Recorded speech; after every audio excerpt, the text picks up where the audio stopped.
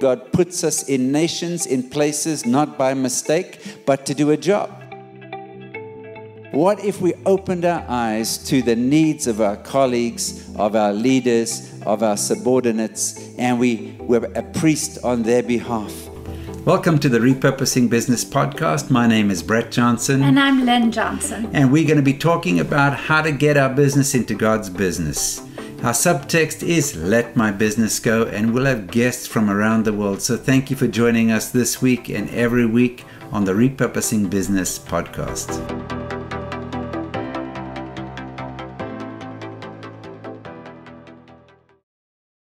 Well, welcome to the Repurposing Business podcast. My name is Brett Johnson. I'm here with Catherine Lund, who's in Johannesburg. Welcome, Catherine. Thanks, Brett. Mm. Great to have you with us. And tell us a little bit about your journey because uh, I'd love to hear a bit about your story and then we'll chat about your company. So, uh, have you always been in Johannesburg? Is that where you grew up? What did you study? Tell us a bit about your life.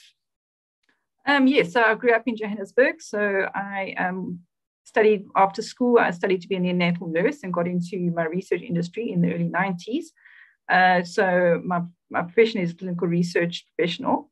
Mm-hmm. um, yeah, and then I, started my, my company from there, from the from the late nineties. Mm. Fantastic. So you've been going uh, over ten years now, and uh, yeah, effectively. So I mean, I would say the first to pinpoint the beginning was ninety nine, but I often used two thousand and eight because I changed structures and things like it. But a long time either way. Mm. Yeah, a long time either way. Yeah, fantastic. Mm-hmm. That's great. And you got quite a good sized team at the moment.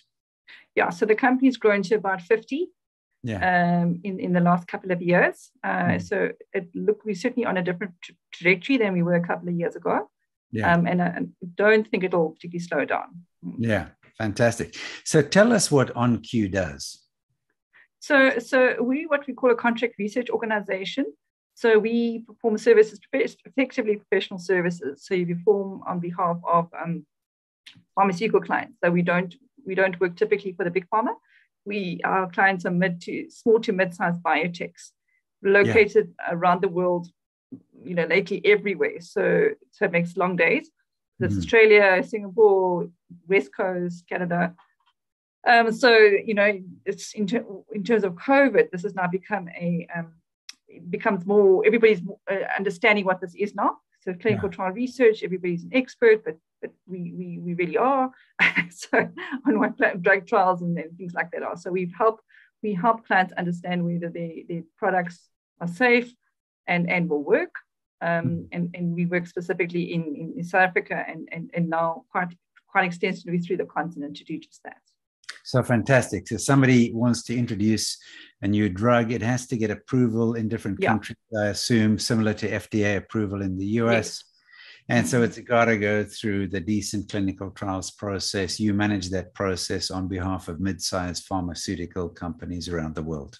Correct. Yeah. Great. And I presume you have some advantages because you're technically in an emerging market with mm. uh, and South Africa, from what I understand and, and have experienced, has a pretty good medical capabilities, research capability that's been there for decades and decades, in fact, for many, many, many years.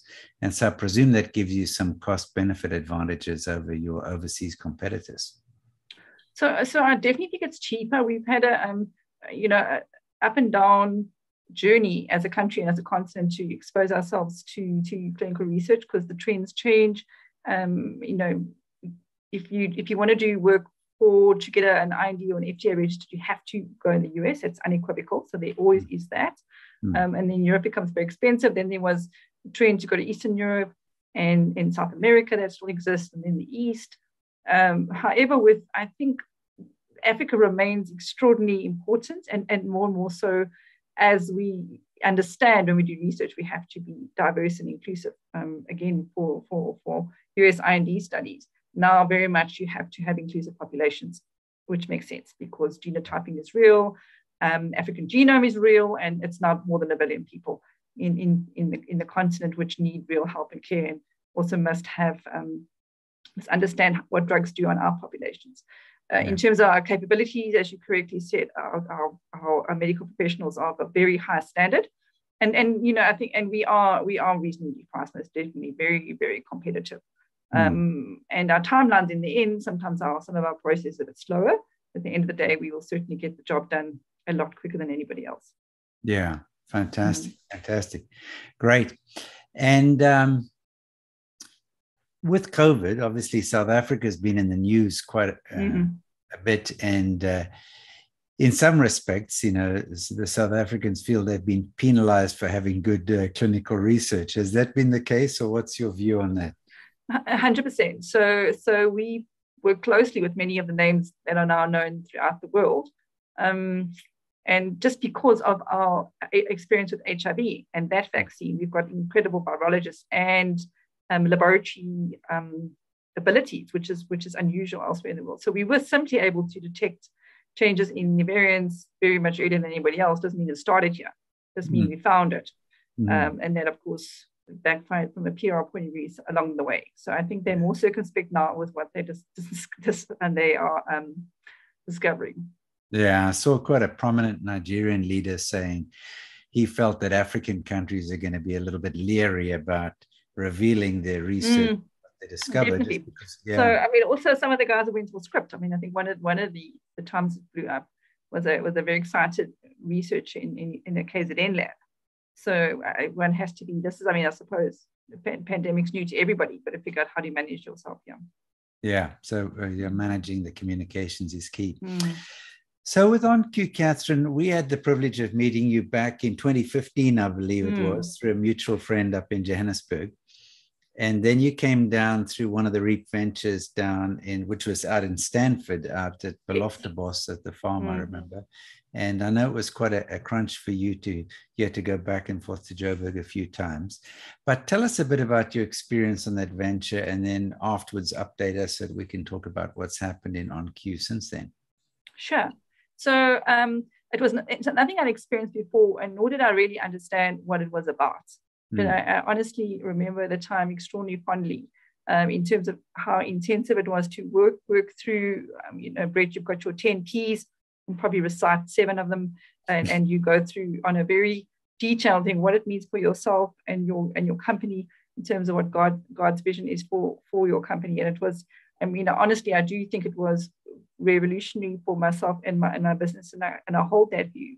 And I will often still speak about it. And I did external different things in terms of church and business and so on, where I will bring in many of those principles. Um, so uh, even I think late last year, because my company's grown so quickly and there's a lot of changes, I did what I did a storyline and I did my story and I could remember and I found some of my, my notes from those days and along those lines and I included that And I'll shoot that across to you if you want, if you're interested to see the presentation. Um, so it, it really did, um, it was it was quite, um, you know, life changing if, if you want to put it, you know, not to be trite, but it hmm. really made a significant difference uh, yeah. in terms of in terms of my business and in God and kingdom business principles. Yeah, yeah, mm. and it's not like you had been clueless about kingdom business principles. You were actually no. kingdom yeah. business group mm-hmm. in your church and you'd pull together mm-hmm. 20, 30, 40 entrepreneurs, uh, at least in the Joburg area. So this yeah. is something you'd been digging into for a while already. Yeah. Mm. Yeah. 100%. Mm. Yeah. And Catherine, it's good to hear that you're a researcher, so you're not faking faking the data. no, I don't fake the data. Fantastic. If you were to pick um, some of the key areas that made a difference, so just for those who are listening, you don't understand what a REAP venture is. So we got together mm. for about 10 days. Yeah. Catherine, you had two people who worked with you for those yes. 10 days, and yeah. you spent time going through each of the different areas of your business and just mm. Examining what is, what might be, how the principles might apply. We're not prescriptive. Uh, sure Mm. Uh, and we just say, look, you have your own story. These are the principles. You figure out how you're going to apply them, which is what you mm. do team. Um, were there any particular ones of the 10 Ps that stood out for you uh, as you look back? Um, I think for me, purpose always, mm. because although it can doesn't necessarily change, and one always must revisit what it what it what it is mm. in the midst of very sometimes complicated or um, a lot of confusing external information or stressful times, one must always go back to what that is. Um, yeah. So that will always remain, and I think it remains true for so many things. Mm. Um, I think partner as well, because my journey with partners has, has remained um, adventurous. And, and, I think it is very important that you, you, you, you yoke yourself equally with a business partner like one does with a, spouse or whatever else. So um, I think those were two, if I think about it, um, that stood out. Yeah. Did you have to revisit existing partnerships or were you able to mm. strengthen mm. those? Did, so, yeah, did... I have had um, a fairly dramatic split uh, early this year, mm. which which is a long time coming. But mm. um, the, the, you know, we were uh, fortuitous, fortuitously, I was able to because company's done well. We can go back to profit then if you like, and mm. then we were able to sort of part ways. And I've got some new partners who've joined and, and so on, which which hopefully will then they they're much younger than me who will then take take this thing forward. Mm. Yeah. Yeah, that's very interesting one, the partnering area, because yeah. mm. you know it's almost like being a parent. You think to yourself, well, you know, if I can make a baby, I'll be a good parent. You know, so yeah. if we if we got two people, maybe we go to the same church, we're of the same faith, yeah. so broadly we're in agreement. You think, mm. and then the rubber hits the road. Mm. Uh, did you find there were differences in your perspectives on the business, on the industry? What was the key thing?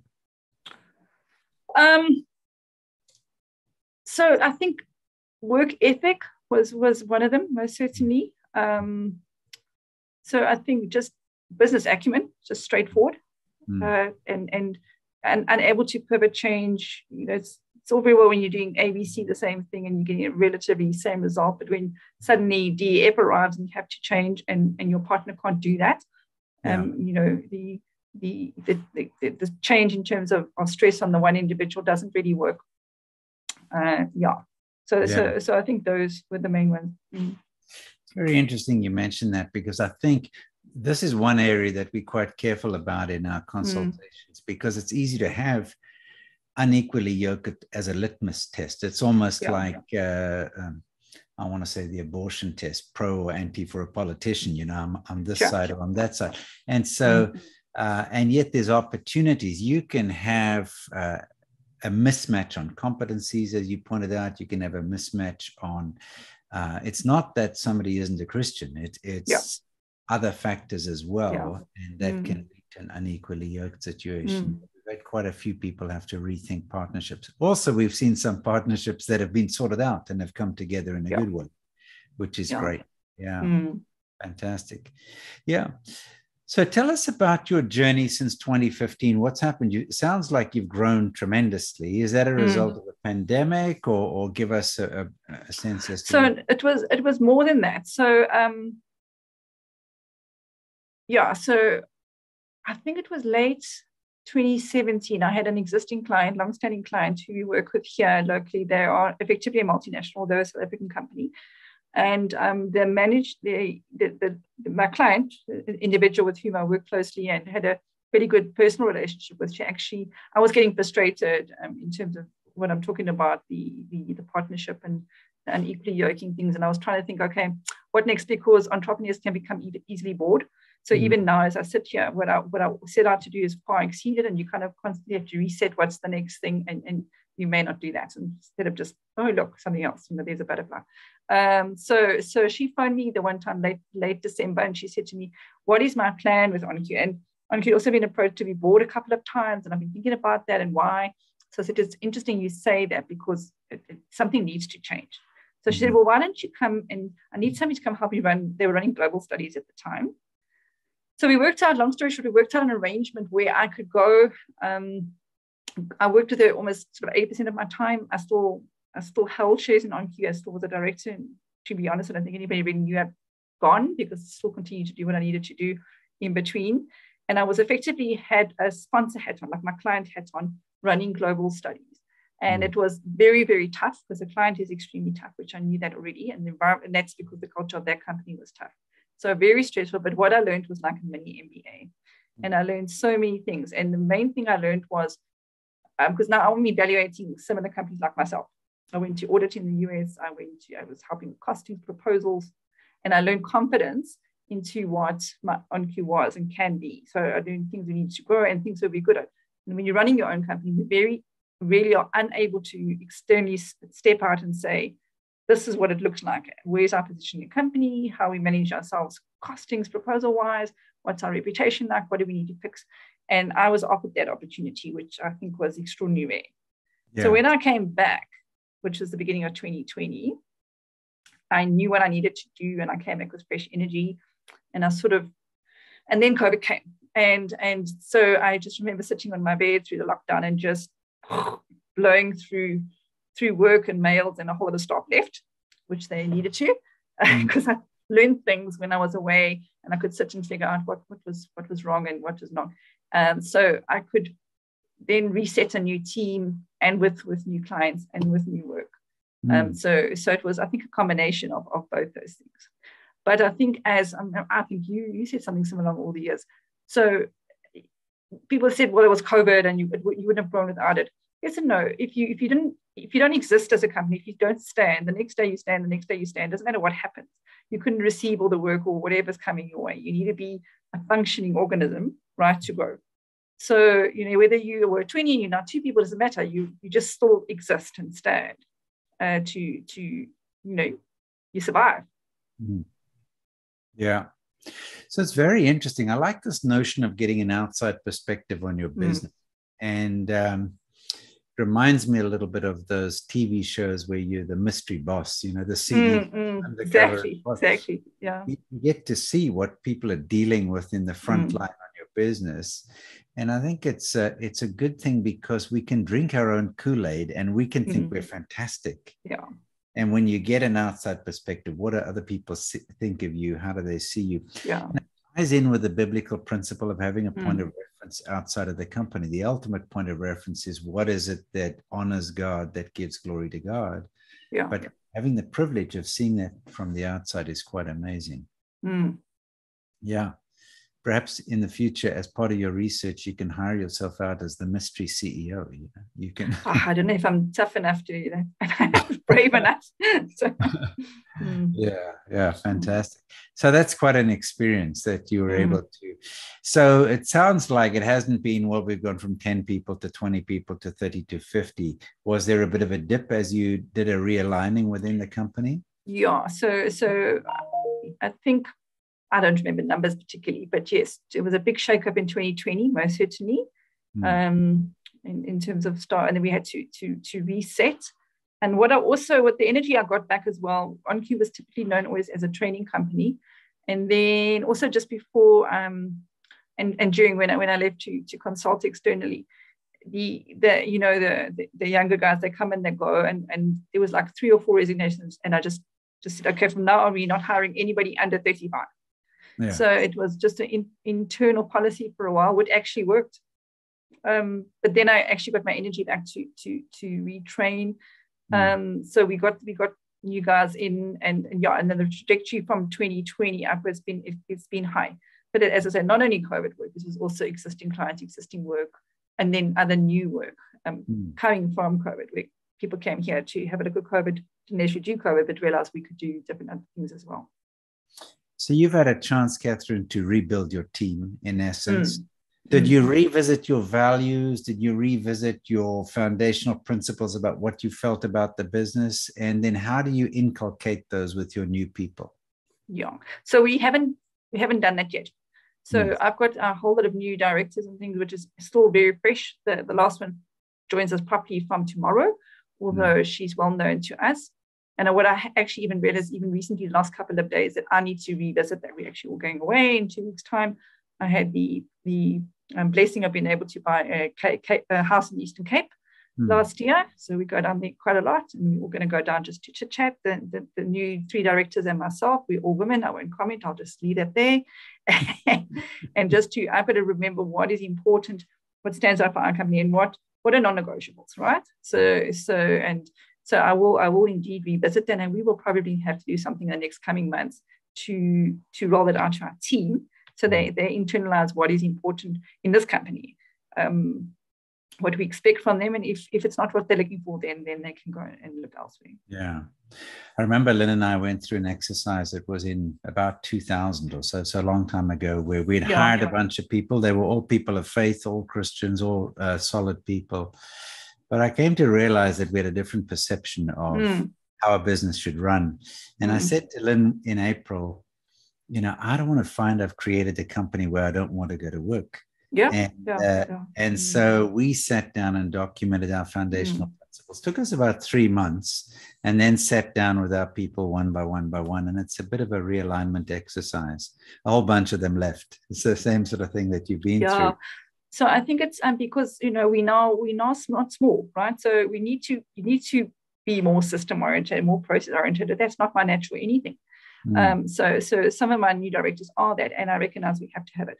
But there is a limit because there's certain things that I never feel just because my my, my worst thing is one of my worst things is do not reinvent the wheel. I'm like, why? I mean, the wheel's fine, but I mean, there's always a different way of doing things. And you know, we're not here to be cookie cutters, right? We, yeah. we creative beings. We've, uh, you know, to to solve a problem out the box is one of my most favorite things to do, and which keeps me energized. So we must never never lose those kinds of. We have, we have the flexibility. Everybody has the flexibility in our company to solve a problem. Use your brain. Use your particular um, strengths to do that. Yeah. So I'm not saying we're in danger on losing that, but these are the things that are key to me, and also people.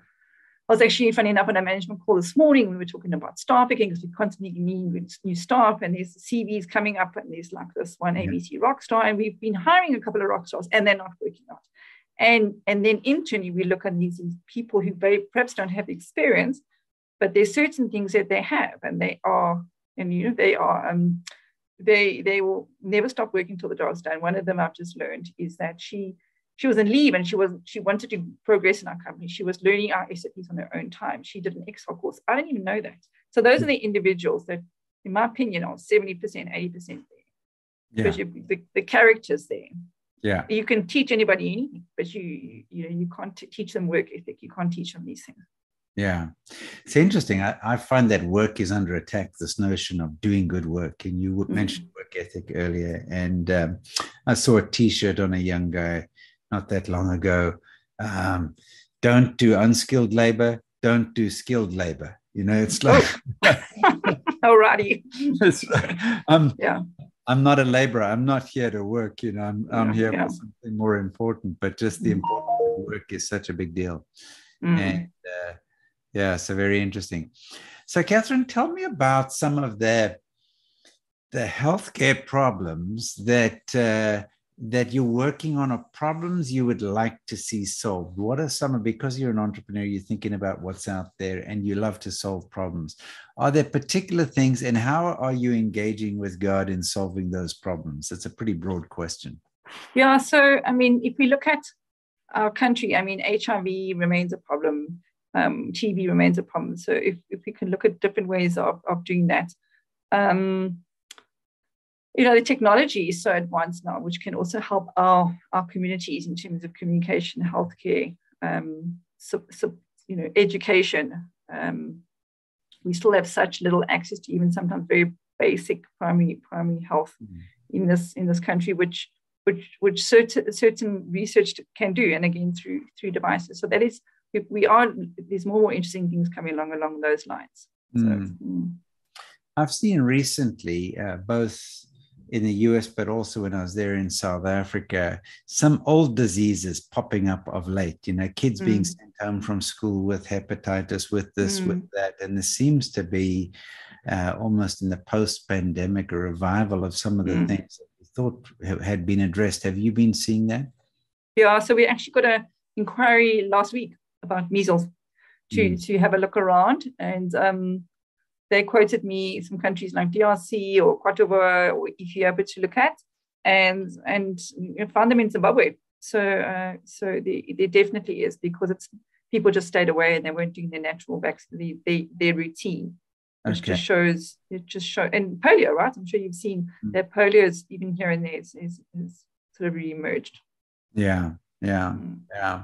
But but of, of, interest in the pandemic was very much um, uh, repurposing old drugs. And I think you've mentioned this, and indeed our, our mutual friend has as well said that. And it's and it's and it's valid, right? Um, to to you know we look at it. The research maybe done 20, 30 years ago was perhaps needed some some refreshing, but we can look at new indications with drugs that exist already. Right. Yeah. Yeah. So you've got endless opportunities in your business, it sounds mm. like, and mm. uh, which is fantastic. Catherine, what do you think would be your, your big challenges as you see your outlook over the next five years or so in South Africa? Um, in terms of my business specifically, or? Yeah, in terms of your business in the healthcare space. Now you're serving global clients, so yeah. to South Africa or Africa. Yeah. What do you see the big challenges? I think um, the big challenge is that we our future is in our hands because we have everything offered to us. We, in terms of my own business, I don't even think we have a, a proper competitor mm. uh, for a variety of reasons. So mm. we have every opportunity to be as um, as influential as we want to, which is a little bit scary, uh, to be honest. Mm. Um, so so um, yeah, challenges wise, I think regulators are, are, working with us. You know, we've obviously still got our infrastructure issues. Um, but I think it's to keep a handle on growth and where do you stop growing? Do you ever set that, you know, we, we are now looking at global expansion. We've just employed our first uh, permanent employee in Kenya. Um, a lot of our clients say, well, they like what you do. You can replicate our work anywhere in the world. Why don't you go ahead and do that? Yeah. Um, yeah. So along those lines. So it sounds like the challenge might be it's good that you're an entrepreneur because you keep thinking of expansion, but otherwise, yeah. the challenge would be to think of just getting to what's a manageable number. Is it yeah. 175? Yeah. Saying. What's mm. the full opportunity? And it mm. reminds me that God is an expansionist, mm. you know, and uh, one of the things we've seen over the last 20 years or so is that there are opportunities to take good businesses in South Africa, Africa, and take them overseas. Sure. And uh, so it's good that you're well positioned in that regard. Mm. So, see, so the other things that, sorry, Beth. Now go ahead. So the other thing that's of interest to me, like I mentioned earlier, is training. So we've actually starting an academy. Mm. So you can, I think it's registered South African Pharmaceutical Health Academy, which is funded by ONQ because we we happen to have um, so we have a lot of miracles in the last two years. One is that a lot of cash basically for some businesses for doing nothing. We managed to employ 90 nurses and train and upskill them, and that remains. Projects come to an end now, but um, we still have money to work with. And we funded the academy out of that for two years, fully, uh, wow. fully staffed. It's an MPO, and we will train through that. So that will be a, a vision of ours to, to make sure that we're able to train it's, it's, a, it's a modular program we're going to eventually link up with university. Um, so, so you yeah. set up a non-profit mm. out of OnQ and it's mm. training nurses, training medical staff. What, what's your primary? So, so, so anybody, so the, the criteria is it must, somebody must have a life science background of okay. some sort. So either a BSc or a nursing pharmacy, you must be, um, you must be unemployed and you must be under 25. So the idea is to, in our industry, as soon as you've got your step in the door, you're fine. But that step in the door remains even still within our industry is, um, you know, to privilege to, to some extent and networked, and we're trying to we're trying to break that. Yeah. Mm. You must have thought through the shortage of nurses in the world. Have you thought about training and exporting nurses? I don't know. They're better than to be one step too far. Um, so, I mean, we found the opposite, to be honest. When I was looking for nurses for our, our vaccine support programs, there were a lot of them unemployed. I don't know we, we, if it is a mismatch there. Mm, yeah, certainly. Mm. That is the case. We've we've seen that, and I think in the US, the medical professionals, a lot of them are under pressure, and mm. It's been a torrid time for them. Yeah, sure. And, yeah, I think that there's a projected a shortage, a shortfall of healthcare okay. work. Yeah. yeah. Yeah. Yeah, I know that with medical tourism, that certainly people do travel to South Africa and to India and other locations yes. to get their, mm. their healthcare mm. done. Yeah. Mm. yeah. Interesting. So, Catherine, in terms of the um, some of the key principles that you feel are critical to you that you've said, okay, these are key as an entrepreneur building a business. These two or three things are the things that I focus on. What would mm. those be? So the first is that um, often I just, have, you know, when you get overwhelmed with problems and things like it, it's like nobody died. Okay, you know, for us, it's, it's a paper exercise. It's a, it's a, you know, just to take a step back because the pressure is high in terms of this particular this particular work. Um, the second is that you can solve most problems. Mm. If you hmm. give it enough time, if you consult enough, it is a different way to solving something that's creative. And the third is that is, is that you're not in control, right? God, God has given this to us, and ultimately it's for Him to solve it. You can help, but it is a, it just takes away a lot of the stress, and we just take a step back and say, okay, you know what, this, this I don't have anymore. Mm. And so, so along those lines, I mean, it sounds um, mm. simple, but those those are my viewpoints. Sounds like that's helped you manage stress in a big way. Mm, it has, yeah. Yeah. And you stressed by the growth or you excited by the growth? Um, I, I, don't love it, Brett, I must admit, because again, it's it's far exceeded what I ever wanted to do. Mm. Um, so I've got to find a way to keep myself engaged for the next 10 years, even if that's the journey. Maybe it's not. Maybe it's to go. I mean, my next goals really, and I've even reached out to, to fellow entrepreneurs to do this, is to sort of, because, you know, I've, I've, I've got a little bit of money now, is to go and invest in other small business and partner with them to grow it. Um, I don't know if I will, or won't, but, uh, mm. but uh, you know, I mean, my 50s now, some, some time left still. Uh, I, I, I, I don't know if I, if I should move on from this, but it, but it must remain. That's, that's my key thing. Mm. Yeah.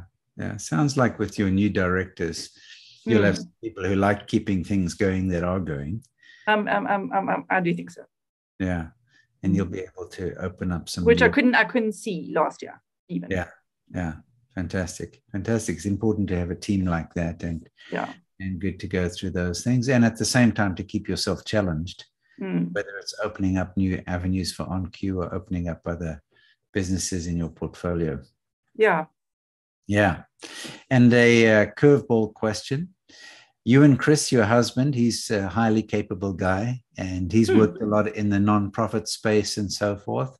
And yeah. uh, as your kids are flying the coop and graduating and getting married and doing all of these things. Um, are the two of you thinking about new possibilities of things you can do together? Uh, look, Christopher already is, is involved in my business. He's sort of the financial manager. So, I mean, I think that's enough, really. It's more than enough. Uh, um, but, but Christopher, he's, you know, he's extended his space with homelessness in the church, in, in, in, the, in the city mm. and he's really done great things. I mean, he's even the last couple of years, he's he's you know his faithfulness in that space is mm. he's not in dispute. He's head of the Johannesburg Homelessness Network. Um, he's speaking, got some media coverage. We had the opportunity to talk to somebody about U-Turn. I don't know if you know if you know the project. I know U-Turn, yes, yeah. Mm. So that's been something we've been looking for in Johannesburg for a while, and we happened. The, the guys came up and connected us with a, the church, is not which is not our church, Mm. Um, and that would be exciting for, I think, both of us in, in the future because that's very much close to our heart. So something along those kind of lines. Yes, yes. We have some of our people down in Cape Town involved with U-Turn. Yeah. Mm. Fantastic. Wonderful for job creation and other things. Yes. So if we could, if you could jump into the homeless and then I could jump into some of the entrepreneurship opportunities, that, that might be fun. Yeah, fantastic. Mm. Great. Well, Catherine, any closing remarks from your side in terms of advice you would give people? You went through the repurposing business consultation in 2015. We're now yeah. seven years on almost. Mm. Um, how long did it take you? Was it a quick process to implement the principles? Was it a, a drawn out thing? Any pieces of advice you would give people? I don't think it's a quick thing. I think it's to embrace what it's about. Mm. And to let it settle with you because it's not all of it at once, right? Because it's a lot. So mm. I think it's to settle as the time goes by. Some things are more important at the time to the other. But yeah. it, I think it, it's it's worth revisiting it quite frequently because it is it is immensely powerful. Mm, mm. And sounds like you're entering a phase with your new directors where the processes, the planning, the things, some of the things, the order, structure things that yeah. might be boring to you as an entrepreneur, uh, that you're having a chance to to embed those uh, for yes. long long term growth. No, that's that's true. We even have something called a systems operations director. We we made that up. Mm-hmm. so, yeah. Fantastic, fantastic. Well, I think of Colossians 2, verse 5, that says, I delight to see how orderly you are and how firm your faith is. And I want to commend you for for making the adjustments in the business and being willing to embrace growth because uh, sometimes it's easier just to keep things manageable you know you can feed your family you can be yeah. Mm. and uh, embracing growth can be a scary thing but god's given you a product or service uh, that can serve people in many countries uh, mm. uh, which in his heart is always for the nations so hats off to you catherine for the work that that you've done in that regard. Thanks, Brett. Lovely to chat to you. And thank you as well for everything that you've done.